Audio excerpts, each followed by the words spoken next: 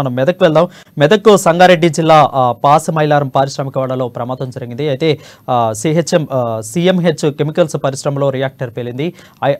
ఐదుగురికి తీవ్ర గాయాలయ్యి ఒకరు మృతి చెందారు కార్మికులను అయితే మంత్రి రాజా నరసింహ పరామర్శించారు. సో ఏ విధంగా జరిగింది? ఎప్పుడు జరిగింది? మంత్రి వాళ్ళకి ఎలాంటి భరోసా కల్పించారు? ఇలాంటి ప్రశ్నలన్నింటికి సమాధానం మా ప్రతినిధి సునీల్ అవిల అందుబాటులో ఉన్నారు. సునీల్ చెప్పండి అసలు ఈ ప్రమాదం ఎలా జరిగింది? ప్రస్తుతం వాళ్ళ పరిస్థితి ఏ విధంగా ఉంది?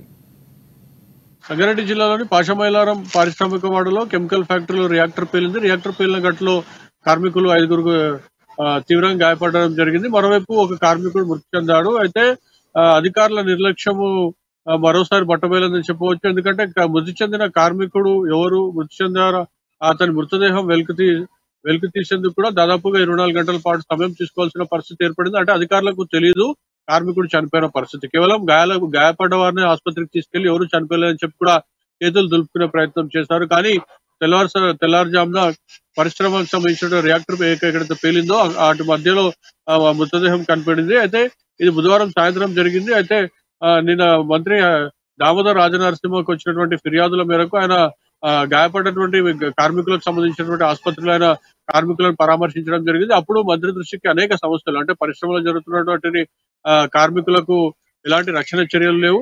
అదేవిధంగా అధికారులు చూసి చూడనట్టు వ్యవహరిస్తున్న తీరు అదే విధంగా కొంతమంది అధికారుల లంచావతారం తీరు. అవన్నీ కూడా స్థానికులు అదేవిధంగా గాయపడ్డ కార్మికులు స్పష్టంగా మంత్రి దామోదర్ రాజనరసింహ చెప్పడంతో తీవ్ర ఆగ్రహం వ్యక్తం చేసినటువంటి మంత్రి దామోదర్ రాజనరసింహ వెంటనే జిల్లా కలెక్టర్ వల్లూరు క్రాంతికి ఆదేశించారు.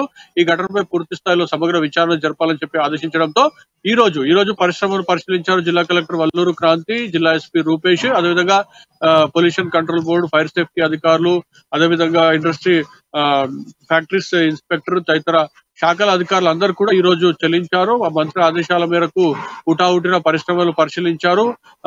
కార్మికులకు ఉన్నటువంటి రక్షణ చర్యలు అన్నిటి కూడా పరిశీలించారు. అయితే వీటిలో ప్రాథమికంగా మాత్రం కార్మికులకు ఎలాంటి రక్షణ చర్యలు లేవు. అంటే సేఫ్టీ సేఫ్టీ జోన్లో మాత్రం పనిచేసే పరిస్థితి లేదు పరిశ్రమలు అని చెప్పి కూడా ప్రాథమికంగా కొద్దిసేపటి క్రితమే అధికారులు గుర్తిన గుర్తించినట్లుగా మనకు సమాచారం అందుతుంది. అయితే మొత్తం అంశంపై కూడా ఒక నివేదికను రూపొందించి దామోదర్ రాజనరసింహకు అందించేందుకు అధికారులు ఇప్పటికే ఆ, దిశగా కూడా అడుగులు వేస్తున్నారని చెప్పవచ్చు. అయితే కొద్దిసేపటి క్రితం మనం దామోదర్ రాజనరసింహతో కూడా మాట్లాడడం జరిగింది టెలిఫోన్లో అయితే ఆయన కూడా ఇదే అంశాన్ని చెప్పడం జరిగింది. ఖచ్చితంగా అన్ని పరిశ్రమలు అంటే పటాన్చెరు నియోజకవర్గం సంగారెడ్డి జహీరాబాద్ సంగారెడ్డి జిల్లాలో ఉన్నటువంటి అన్ని పరిశ్రమలకు సంబంధించి కూడా నిత్యం తనిఖీలు జరుగుతాయి ఇప్పటి నుంచి. ఎందుకంటే రాబోయేది కూడా వేసవి కాలం కాబట్టి రియాక్టర్ల పేలుల్లో అగ్ని ప్రమాదాల సంఖ్య ఎక్కువగా ఉంటుంది కాబట్టి ఖచ్చితంగా ప్రతి పరిశ్రమలో సేఫ్టీ జోన్ కార్మికులకు ఉందా లేదా? ఏదైనా ప్రమాదం జరిగితే అగ్ని ప్రమాదం జరిగితే కార్మికులు ఏ గేట్ ద్వారా బయటికి వెళ్ళాలి? అక్కడ అలాంటి ఏర్పాట్లు ఉన్నాయా లేవా? అన్నింటినీ పరిశీలించాలని చెప్పి కూడా ఇప్పటికైనా జిల్లా కలెక్టర్ వల్లూరు క్రాంతికి ఆదేశించినట్లు కూడా ఆయన మనతో చెప్పడం జరిగింది.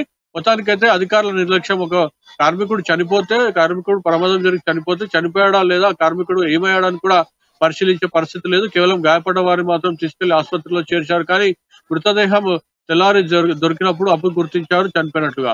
అంటే అధికారుల నిర్లక్ష్యం ఇందులో స్పష్టంగా కనిపిస్తుంది. జిల్లా కేంద్రానికి కూటవైటు దూరంలో ఉన్నటువంటి పరిశ్రమలు ఇంత నిర్లక్ష్యంగా వ్యవహరిస్తుంటే పరిశ్రమల యజమానులు అధికారులు మాత్రం కనీసం వారి గేటును కూడా తాకేందుకు సాహసించని పరిస్థితి ఉంది. ఎందుకంటే కొందరు అధికారులు పిసిబి అధికారులు కానివ్వండి లేకపోతే ఫ్యాక్టరీస్ ఆఫ్ ఇన్స్పెక్టర్ కానివ్వండి పొల్యూషన్ కంట్రోల్ బోర్డు లేకపోతే అగ్నిమాపక శాఖ ఈ అందరు అధికారులు కొందరు అధికారులు ఖచ్చితంగా పరిశ్రమల నిర్వాహకులతో చేతులు కలిపారు కాబట్టి మీ పరిశ్రమలు ఏం జరిగినా కూడా మేము పట్టించుకోము. ఫిర్యాదు ఫిర్యాదులు వస్తే చూద్దామనే తీరుగా ఉన్నారని చెప్పి కూడా సాక్షాత్తు మంత్రి దామోదర్ రాజనరసింహ దృష్టికే స్థానికులు గాయపడ్డ కార్మికులు ఈ అంశాన్ని తీసుకెళ్ళడంతో మంత్రి దీన్ని సీరియస్గా తీసుకున్నారు. ఖచ్చితంగా ప్రతి అంశాన్ని కూడా పరిశీలించాలని చెప్పడం జరిగింది. ఈ రోజు క్షుణ్ణంగా అధికారులు పరిశీలిస్తున్నారు.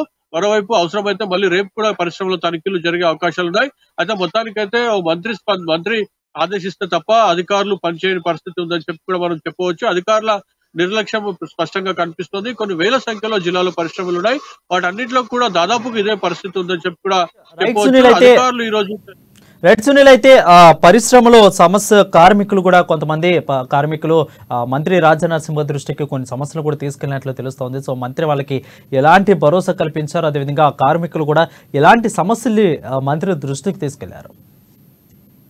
అది పరిశ్రమలో పనిచేస్తుంది ముఖ్యంగా ఇతర రాష్ట్రాల నుంచి కార్మికులు వస్తుంటారు. వారందరూ కూడా ఉద్యోగ భద్రతతో పాటు ఇన్సూరెన్స్ అదేవిధంగా వైద్య వైద్యానికి సంబంధించినటువంటి కూడా హెల్త్ కార్డు లాంటి అంటే హెల్త్ ఇన్సూరెన్స్ కానివ్వండి లేదంటే ప్రమాద బీమా కానివ్వండి ఇవన్నీ కూడా ఏర్పాటు చేయాలని కూడా చెప్పడం జరిగింది. నా కార్మికులు ఇదే అంశాన్ని మంత్రి దృష్టికి తీసుకెళ్తారని స్పందించారు. ఖచ్చితంగా కార్మికుల హక్కులు కార్మికులకు కావాల్సినటువంటి సౌకర్యాలు అన్ని కూడా తమ ప్రభుత్వం ఏర్పాటు చేసేందుకు కృషి చేస్తుంది. అదేవిధంగా పరిశ్రమల యజమానులు కూడా ఇందుకు ముందుకు వచ్చే వచ్చే విధంగా కూడా తాము అధికారుల దృష్టికి తీసుకెళ్ళి అధికారులతో ఆ దిశగా అడుగులు ముందుకు వేస్తామని కూడా చెప్పడం జరిగింది. అయితే అదే గత ప్రభుత్వంలో బీఆర్ఎస్ ప్రభుత్వంలో అనేక ఈ సంగారెడ్డి జిల్లాలో అనేక పరిశ్రమల్లో జరిగిన ప్రమాదాల్లో ఏ మంత్రి కానీ లేదా స్థానిక ఎమ్మెల్యే ఎవరు కూడా పరిశీలించిన పరిస్థితి ఉంది.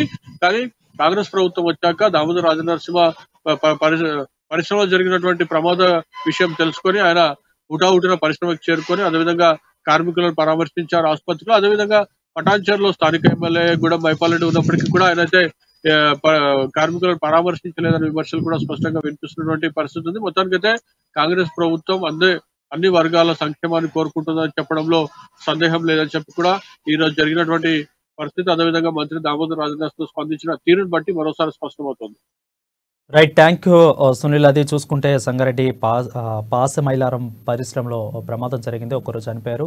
ఐదుగురికి తీవ్ర గాయాలైతే రాజనరసింహ కూడా అక్కడికి వెళ్ళి వాళ్ళని మంత్రి పరామర్శించారు. ఎవరు కూడా ఇన్ని ఇంతమంది మంత్రులు ఉన్నా కానీ ఎమ్మెల్యేలు కూడా ఎప్పుడు కూడా మా దగ్గరకు వచ్చి పరామర్శించలేదు.